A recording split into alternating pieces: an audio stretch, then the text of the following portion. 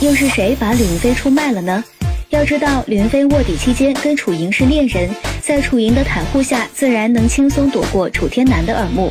这说明出卖吕云飞的极有可能是他自己发展的线人。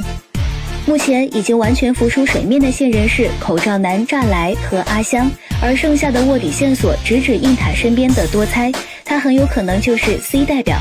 想来，吕云飞临死前可能已经知道线人内部出现了叛徒，这才留下情报要警方保护剩下的卧底。这样看来，被点名要保护的 C 代表就不是出卖吕云飞的人了。那么，剩下的嫌疑人就是栅来和阿香。据目前栅来对李云鹏的帮助看来，他的嫌疑远没有阿香的大。而在阿香知道江一南的身份后，楚天南这边也很果断地表示了要江一南离开楚门。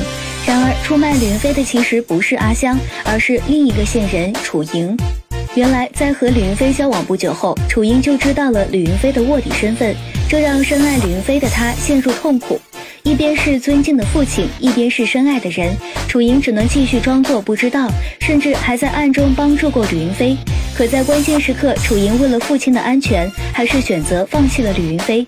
可是，在看到父亲对吕云飞的残忍后，楚莹又是痛心又是悔恨，从此父女俩的关系也闹僵了。如今，吕云鹏再次走上了哥哥的路。如果你是楚莹，会选择再次出卖心爱的人吗？